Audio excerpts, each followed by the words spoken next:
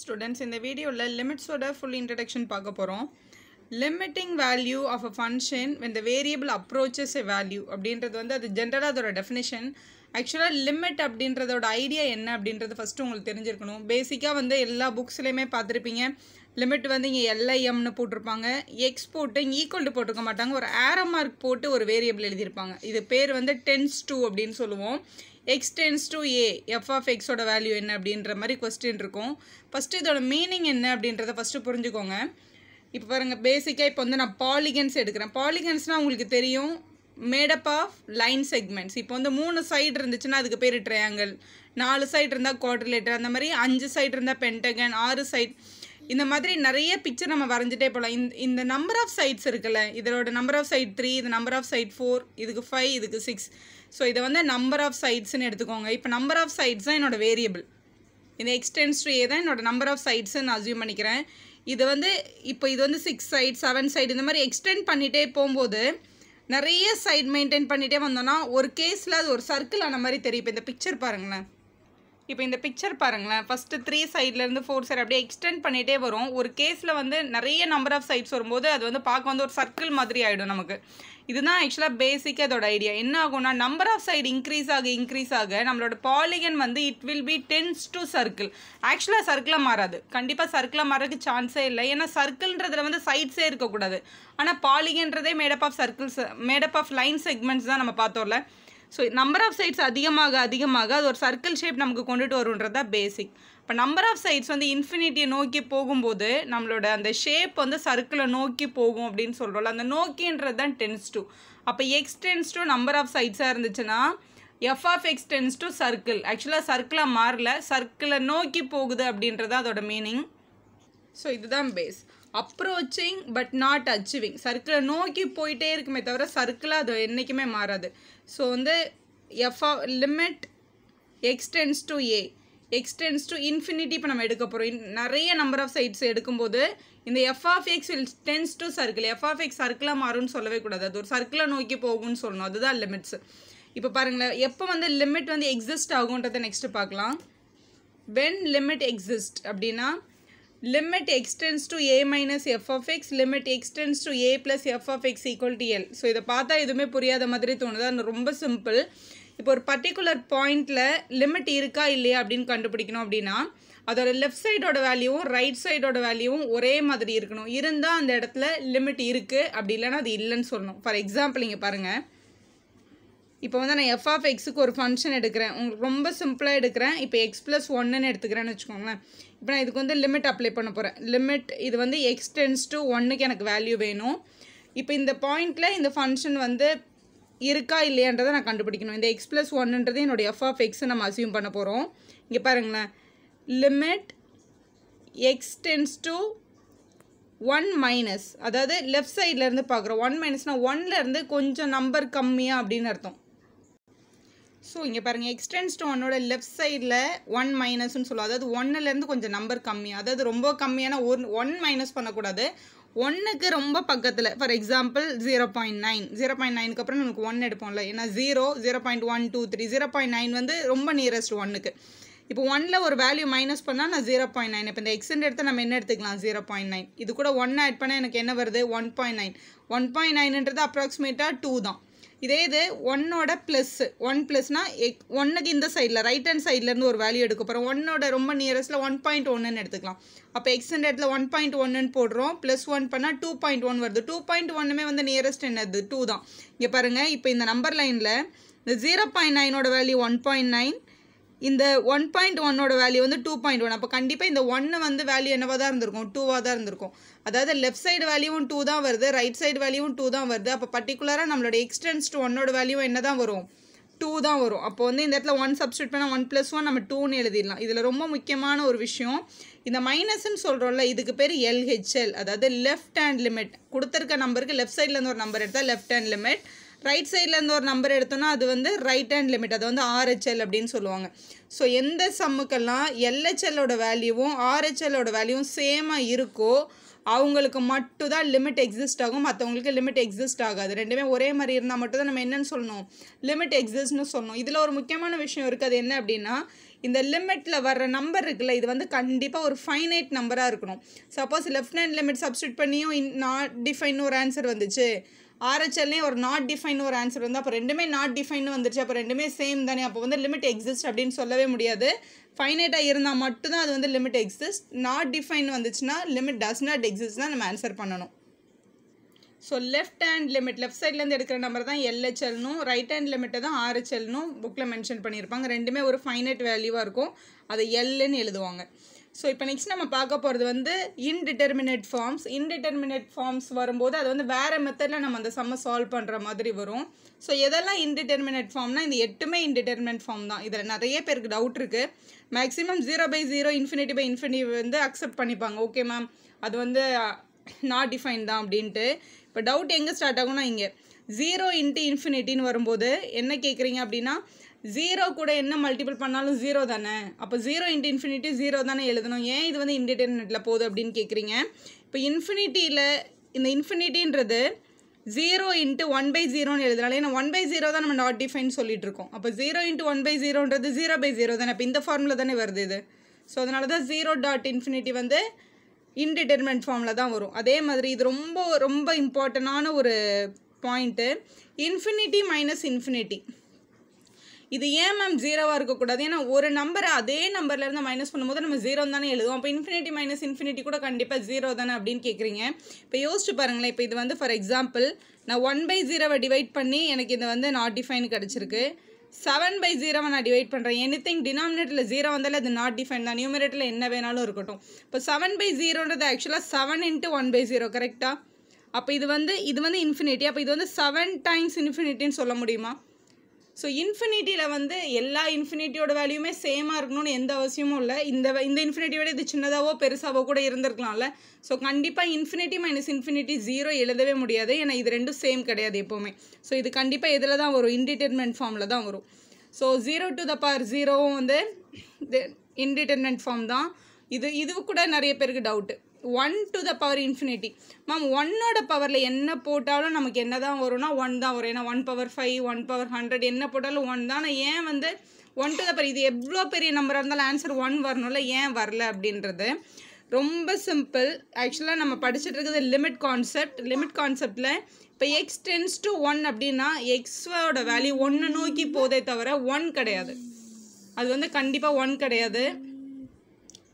So இது வந்து எக்ஸாக்டாக ஈக்குவல் டு ஒன்னு சொல்ல முடியாது. அது கூட ஒரு ரீசன் அப்படி இல்லைன்னா இப்படி சொல்லலாம் நம்ம. ஒன்னோட பாரில் ஃபைனைட் நம்பர் வரும்போது தான் அதை வந்து நம்ம என்னன்னு சொல்ல முடியும்னா ஒன்னுன்னு சொல்ல முடியும். ஸோ இது வந்து நாட் டிஃபைன் வேல்யூ அதுக்கு வந்து ஒன்னு சொல்ல முடியாது. ஸோ இது ஒன் பார் இன்ஃபினிட்டின்ற வேல்யூ வரும்போது அது இன்டிட்டர்மெண்ட் ஃபார்மில் எடுத்து வேறு மெத்தடில் போய் தான் நீங்கள் சால்வ் பண்ணும். Infinity to the power zero கூட இன்டிட்டர்மெண்ட் ஃபார்மில் தான் வரும். So methods of finding limits பார்க்கலாம். இதில் வந்து அஞ்சு மெத்தட் இருக்குது first method direct substitution method next factorisation method rationalisation method sandwich theorem L hospital's rule இது எல்லாமே இருக்குது சாண்ட்விச் தியரமோட இன்னொரு பேர் தான் வந்து ஸ்க்வீஸ் தியரம் அப்படின்னு சொல்லுவாங்க. ஸோ இது எல்லாம் எப்படி அப்ளை பண்ணுறதுன்னு ஒரு ஒரு ப்ராப்ளமில் பார்க்கலாம். ஃபஸ்ட்டு டைரக்ட் மெத்தட் பார்க்கலாம். டைரக்ட் சப்ஸ்டியூஷன் மெத்தட் அப்படின்னா இங்கே பாருங்களேன். Find the value of limit x tends to three x square plus three எக்ஸோட வேல்யூ என்ன அப்படின்னாங்கன்னா இந்த எக்ஸோட பிளேஸில் இந்த த்ரீ அப்படியே சப்ஸ்டியூட் பண்ணி பார்க்க போகிறோம் ஸோ இது வந்து three square plus three into three so இது நைன் ப்ளஸ் நைன் வேல்யூ வந்து எயிட்டீன் ஸோ இது ஒரு ஃபைனைட் வேல்யூ நமக்கு ஆன்சராக கிடச்சிச்சு. அப்போ சம்முவே ஓவர் தான். ஸோ இதோட லிமிட்டோட வேல்யூ வந்து எயிட்டீன்றதை கன்ஃபார்மாக சொல்லிடலாம்.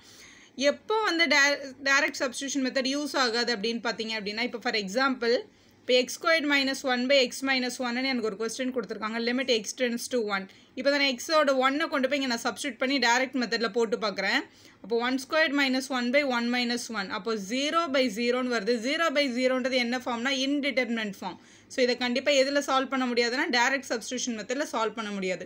ஸோ எப்போல்லாம் இன்டிட்டர்மெண்ட் ஃபார்ம் வருதோ அது கண்டிப்பாக நெக்ஸ்ட் மெத்தடில் போய் நம்ம ட்ரை பண்ணோம் ஸோ எக்ஸாம்ஸை பொறுத்த வரைக்கும் டேரக்ட் சப்ஸ்டியூஷன் மெத்தடில் எதுவுமே கேட்க மாட்டாங்க. கண்டிப்பாக நெக்ஸ்ட் பேட்டர்ன் அப்ளை பண்ணுற மாதிரி தான் இருக்கும். ஸோ இப்போ இதே problem next method factorisation method factorisation மெத்தடில் இந்த மெத் இந்த சமயம் எப்படி சால்வ் பண்ணுறதுன்னு பார்க்கலாம். X squared minus one by x minus one அப்படின்ற கொஸ்டினை முதல்ல வந்து சால்வ் பண்ணும். அல்ஜிப்ராக்காக சால்வ் பண்ணும். இப்போ இது வந்து ஒன்னுன்றதை வந்து நம்ம ஒன் ஸ்கொயர்னு கூட எழுதிக்கலாம். ஸோ நம்மளோட basic formula a squared minus b square எப்படி எழுதலாம்னா a plus b into a minus பின்னு எழுதுவோம் இல்லையா? ஸோ அதே மாதிரி இந்த நியூமரேட்டரை மற்ற எல்லாமே அப்படியே இருக்கட்டும். நியூமரேட்டரை மட்டும் x plus one x minus ஒன்று ஸ்ப்ளிட் பண்ணிக்கலாம். டினாமினேட்டரில் ஆல்ரெடி ஒரு எக்ஸ் மைனஸ் ஒன்று இருக்குது ஸோ இந்த எக்ஸ் மைனஸ் ஒன்று இந்த எக்ஸ் மைனஸ் ஒன்று கேன்சல் ஆகிடும் ஸோ ரிமைனிங் இருக்கிற ப்ராப்ளம் பார்த்தீங்கன்னா limit x tends to one x plus one இப்போ டைரக்ட் சப்ஸ்டியூஷன் மெத்தடுக்கு வரணும். இப்போ டேரக்ட் சப்ஸ்டியூஷன் மெத்தடில் கம்ப்ளீட் பண்ணணும். சம்ம எக்ஸோட பிளேஸில் ஒன் போட்டால் ஸோ எக்ஸோட பிளேஸில் ஒன் சப்ஸ்டியூட் பண்ணால் ஒன் ப்ளஸ் ஒன் ஆன்சர் டூன்றது தான் உங்களோட கரெக்ட் ஆன்சர் ஸோ சப்போஸ் உங்களுக்கு வந்து ஆன்சர் ஃபேக்டரைஸ் பண்ண முடியல அப்படின்னா ரேஷ்னலைசர் டினாமினேட்டர் ஆல்ரெடி நைன்த் ஸ்டாண்டர்ட்லேயே நம்ம படிச்சிருக்கோம். ரேஷ்னலைசர் டினாமினேட்டர் பண்ணிவிட்டு அதுக்கப்புறம் லிமிட் அப்ளை பண்ணிங்க அப்படின்னா அது கரெக்டாக வந்துடும் ஸோ நெக்ஸ்ட்டு ரெண்டு ரூல் தான் உங்களுக்கு நியூ அது என்னென்னு பார்க்கலாம். ஸோ நெக்ஸ்ட் நம்ம பார்க்க போகிறது சாண்ட்விச் தேரம் அப்ளை பண்ணி லிமிட் எப்படி சால்வ் பண்ணுறது அப்படின்னு. இங்கே பாருங்களேன் f of x less than or equal to g of x less than or equal to h of x மூணு ஃபங்க்ஷன் இருக்குது இதில். இல்லை இந்த ஜி ஆஃப் எக்ஸ் ஃபங்க்ஷன் அப்படின்றது எஃப் ஆஃப் எக்ஸுக்கும் ஹெச் ஆஃப் எக்ஸுக்கும் நடுவில் இருக்குது அதாவது இந்த டயக்ராமில் பார்த்தீங்கன்னா தெரியும். ஸோ எஃப் ஆஃப் எக்ஸ்னு ஒரு ஃபங்க்ஷன் ட்ரா பண்ணியிருக்கேன். ஹெச் ஆஃப் எக்ஸ்னு ஒரு ஃபங்க்ஷன் ட்ரா பண்ணியிருக்கேன். ஸோ இதுக்கு நடுவில் ஒரு ஃபங்க்ஷன் நமக்கு கிடைக்குது. இவங்க ரெண்டு பேருக்கு நடுவில் போகிற மாதிரி சப்போஸ் இந்த ஃபங்க்ஷனோட நேம் ஜி ஆஃப் எக்ஸ் அப்படின்னு வச்சுக்கோங்களேன். இதோட கண்டென்ட் என்ன அப்படின்னா இந்த ஃபஸ்ட்டு ஃபங்க்ஷனும் இந்த டவுன்வேர்ட்ஸ் ஃபங்க்ஷனும் இந்த அப்பர்ட்ஸ் ஃபங்க்ஷனும் ஒரு பாயிண்டில் வந்து மீட் பண்ணுறாங்க அதாவது எக்ஸஸ் இஸ் ஈக்குவல் டு ஏன்ற பாயிண்டில் மீட் பண்ணுறாங்க அவங்களோட லிமிட் வேல்யூ இங்கே எல்லுன்னு கிடைக்குதுன்னு வச்சுக்கோங்களேன். அதாவது f of x x tends to ஏவோட ஆன்சரும் எல் தான். H of x x tends to ஏவோட வேல்யூவும் எல் தான். ரெண்டு பேரும் ஒரு பிளேஸில் மீட் பண்ணுறாங்க இதுக்கு நடுவில் ஒரு ஃபங்க்ஷன் போகுது. அதுவும் அந்த பாயிண்ட் வழியாக போகுது. அதுதான் உங்களோட சாண்ட்விச் தியரம் ஸோ இந்த ஜி ஆஃப் எக்ஸ்ன்ற பாயிண்ட்டும் இந்த எக்ஸ்டென்ஸ் டு ஏல எல்லா தான் இருக்கும் அப்படின்றது தான் உங்களோட ஃபைனல் ஆன்சர் இப்போ limit x tends to f of எக்ஸோட வேல்யூவும் L limit x tends to h of x வேல்யூவும் எல்லாம் இருந்துச்சுன்னா தென் அந்த நடுவில் போகிற ஃபங்க்ஷன் இருக்குல்ல ஜி ஆஃப் எக்ஸ் அதுவும் கண்டிப்பாக என்னவாக தான் இருக்கும். எல்லா தான் இருக்கும். ஒரு ஃபைனைட் வேல்யூ அதே வேல்யூ தான் வருன்றது தான் சாண்ட்விச் தீரம் ஸோ இது பார்க்க சாண்ட்விச் மாதிரி சென்டரில் வரதுனால இது வந்து சாண்ட்விச் தீரம் அப்படின்னு சொல்லியிருக்காங்க. இது ஸ்குவீஸ் தீரம்னு சொல்லலாம். இதுக்கு ஒரு எக்ஸாம்பிள் பார்த்தா உங்களுக்கு கிளியராக புரியும் இப்போது சாண்ட்விச் தியரமோட எக்ஸாம்பிள் பாருங்கள் the value of limit x tends to zero sine x by x is dash இப்போ நிறைய ஸ்டூடெண்ட்ஸ் வந்து சைன் எக்ஸ் பை எக்ஸ்ன்னு பார்த்தோன்னா ஆன்சர் ஒன் அப்படின்னு உங்கள் மைண்டில் வரலாம். நல்லா பாருங்கள் இங்கே லிமிட் வந்து எக்ஸ்டென்ஸ் டு இன்ஃபினிட்டி அப்படின்னு கொடுத்துருக்காங்க. ஏன்னா லெவன்த்துலேருந்தே படிச்சுட்ருப்போம் எக்ஸ்டென்ஸ் டு ஜீரோவாக இருக்கும்போது சைன் எக்ஸ் பை எக்ஸோட வேல்யூ ஒன்று இது வந்து ஒரு ஃபார்முலா மாதிரி பைகாட் பண்ணி வச்சுருப்பீங்க. ஆனால் இங்கே எக்ஸ்டென்ஸ் டு ஜீரோ கேட்கல எக்ஸ்டென்ஸ் டு இன்ஃபினிட்டி கேட்டிருக்காங்க. எக்ஸ்டென்ஸ் டு இன்ஃபினிட்டியாக இருக்கும்போது இதோட வேல்யூ என்னன்றது தான் கொஸ்டின் ஸோ இது பேசிக்காக இந்த ட்ரிக்னாமெட்டிக் ஃபங்க்ஷனில் சைன் இருக்குது சாண்ட்விச் தேரம் அப்ளை பண்ணுறதுக்கு நம்ம எல்லாருக்கும் தெரிஞ்ச பேசிக் காமன் விஷயம் என்னென்னா சைன் வந்து minus one to plus one தான் அதோட மேக்ஸிமம் மினிமம் வேல்யூவில் so minus one less than or equal to sine X less than or equal to plus ஒன்னு கண்டிப்பாக சொல்லலாம். இதில் யாருக்கும் டவுட் இருக்காதுன்னு நினைக்கிறேன். ஏன்னா சைனோட maximum minimum value minus one plus one தான். இப்போ இது இந்த கொஸ்டின் மாதிரி நான் எடுத்துகிட்டு வரணும். ஸோ எனக்கு டிவைடட் பை எக்ஸ் வேணும்ல அப்போ எல்லாத்தையும் டிவைடட் பை எக்ஸ் பண்ணிக்கலாம். ஒரு பாசிட்டிவ் நம்பரால் டிவைட் பண்ணும்போது இந்த இன்இக்வாலிட்டியில் எந்த சேஞ்சஸும் வராது அது அப்படியே தான் இருக்கும். ஸோ எழுதியாச்சு. இப்போ எனக்கு லிமிட் எக்ஸ்டென்ஸ் டு இன்ஃபினிட்டி வேணும். இந்த மூணுத்துலையுமே limit x tends to infinity நம்ம எடுக்க போகிறோம் இந்த இன்இக்வாலிட்டியில் அப்போ இது limit x tends to infinity minus one by x less than or equal to limit extends to infinity sin x by x less than or equal to limit extends to infinity 1 by x. So நமக்கு பேசிக்காக தெரிஞ்ச வரையும் lim limit x tends one by எக்ஸோட value zero அதே மாதிரி limit x tends to infinity plus one by எக்ஸோட value zero தான். இப்போ zero less than or equal to உங்களோட question less than or equal to ஜீரோன்னு வந்திருக்கு. அதாவது சாண்ட்விச் தியரமில் டாப் கவோட ஆன்சரும் ஜீரோ டவுன் கவ் ஆன்சரும் ஜீரோ அப்போ சென்ட்ரு கவோட ஆன்சர் என்னவாக இருக்கும்ன்றது தான் கொஸ்டின் கண்டிப்பாக இதோட ஆன்சரும் என்னவாக தான் இருந்திருக்கும்? ஜீரோவாக தான் இருந்திருக்கும். ஸோ கண்டிப்பாக ஜீரோன்ற ஆப்ஷன் தான் கரெக்ட் ஆப்ஷன் நெக்ஸ்ட்டு பாருங்கள் எல் ஹாஸ்பிட்டல்ஸ் ரூல் ரொம்ப ரொம்ப இம்பார்ட்டண்ட்டான ஒரு ரூல் எல்லா சமயமே வந்து இந்த மெத்தடில் கன்வெர்ட் பண்ணி கூட நம்ம வந்து கண்டுபிடிக்கலாம். இப்போ ஃபார் எக்ஸாம்பிள் நம்மளோட கொஸ்டின் வந்து இந்த ஃபார்மேட்டில் இருக்கணும். Limit x tends to a f of x by g of x அப்படின்றத நம்ம டேரெக்டாக சால்வ் பண்ணும்போது ஜீரோ பை ஜீரோவோ இல்லை இன்ஃபினிட்டி பை இன்ஃபினிட்டிவோ வந்தால் மட்டும் தான் எல்லா ஹாஸ்பிட்டல் அப்ளை பண்ண முடியும். ஏன்னா இன்டிடெர்மினேஷனில் நிறைய ஃபார்மேட் நம்மக்கிட்ட இருக்குது இன்ஃபினிட்டி பார் ஜீரோ இருக்குது ஜீரோ பார் ஜீரோ இருக்குது எது வந்தாலும் அப்ளை பண்ண முடியாது. ஜீரோ பை ஜீரோவும் இன்ஃபினிட்டி பை இன்ஃபினிட்டி வந்தால் மட்டும்தான் எல்லா ஹாஸ்பிட்டல் அப்ளை பண்ண முடியும். ரொம்ப ரொம்ப முக்கியமான ஒரு விஷயம் இந்த ரெண்டு ஃபார்மேட்டில் கொஸ்டின் இருந்தால் மட்டும்தான் எல்லா ஹாஸ்பிட்டல் வரும்ன்றது. ஸோ இது இப்படி கிடச்சிருச்சு அப்படின்னா இப்போ இந்த கொடுத்துருக்க கொஸ்டின் இருக்க limit f of x by g of x இதோட ஆன்சர் எதுக்கு ஈக்குவலாக இருக்கும் அப்படின்னா இந்த டிஃப்ரென்ஷியேட் பண்ணுற வேல்யூக்கு ஈக்குவலாக இருக்கும். அதாவது அதே limit x tends to a f dash of x by g dash of எக்ஸை நம்ம எழுத முடியும். அதாவது டிஃபரன்ஷியேட் பண்ணி எழுதிக்கலாம். சப்போஸ் டிஃபரன்ஷியேட் பண்ணிவிட்டு மறுபடியும் போய் லிமிட் சப்ஸ்டியூட் பண்ணும்போது மறுபடியும் நமக்கு zero by zero infinity by infinity form கூட வரலாம். ஸோ அப்படி வந்துச்சு அப்படின்னா மறுபடியும் வந்த டெரிவேஷனை இன்னொரு தடவை டெரிவேட் பண்ணி கூட நம்ம எழுதலாம். எக்ஸாம்பிள் பார்த்தா உங்களுக்கு கிளியராக புரியும். ஸோ இதே மாதிரி இதை வந்து டெரிவேட்டிவ் எடுத்துகிட்டே இருக்கலாம். ஒரு ஃபைனைட் வேல்யூ கிடைக்கிற வரைக்கும். இப்போ ஒரு எக்ஸாம்பிள் பாருங்களேன். இப்போ ஒரு எக்ஸாம்பிள் பாருங்கள் limit x tends to zero x minus sine x by x cube நம்ம இதை முதல்ல டைரக்ட் சப்ஸ்டியூஷனில் போடும்போது எக்ஸோட பிளேஸ் எல்லாம் ஜீரோ போடுவோம். இப்போ zero minus sine zero by zero cube sine ஜீரோட value zero zero minus zero zero தானே. அப்போ ஜீரோ பை ஜீரோ ஃபார்மில் இருக்குது அப்போ எல்ஹெச் ரூல் வந்து கண்டிப்பாக நம்மளால் என்ன பண்ண முடியும்னா அப்ளை பண்ண முடியும். எல் ஹாஸ்பிட்டல் ரூல் அப்ளை பண்ண முடியும். இது அப்ளை பண்ணலாம் நம்ம. ரொம்ப சிம்பிள் பாருங்களேன். லிமிட் எக்ஸ்டென்ஸ் டு ஜீரோ முதல்ல ஒன்றுமே இல்லை. இது அப்படியே டிஃப்ரென்ஷியேட் பண்ணால் போதும். இன் டேர்ம்ஸ் ஆஃப் எக்ஸில் இப்போ எக்ஸை டிஃப்ரென்ஷியேட் பண்ணால் ஒன் ஆகிடும் மைனஸ் சைன் எக்ஸை டிஃப்ரென்ஷியேட் பண்ணால் காஸ் எக்ஸ் ஆகிடும் எக்ஸ் கியூபை டிஃப்ரென்ஷியேட் பண்ணால் த்ரீ எக்ஸ் ஸ்கொயர்ட் ஆகிடும் ஸோ இது உங்களுக்கு எல்லாருக்குமே பேசிக் தெரிஞ்சிருக்கும்.